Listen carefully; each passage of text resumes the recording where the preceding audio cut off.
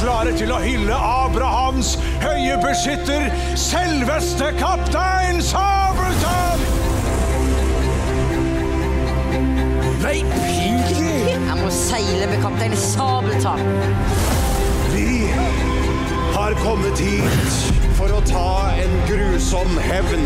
Mamma! Endelig skal du få betalt din skatt.